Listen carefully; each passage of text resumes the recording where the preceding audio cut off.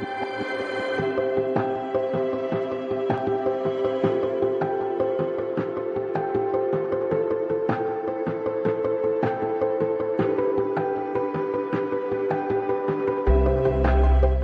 Yudi, as the head of operations, can you elaborate on Swagelok Indonesia's capability?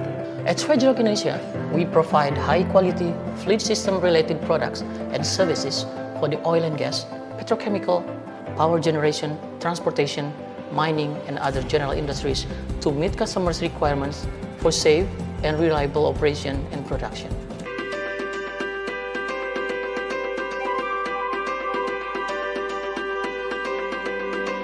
We're also going to um, showcase our on-site um, services uh, where the customer can get the benefit uh, from our support.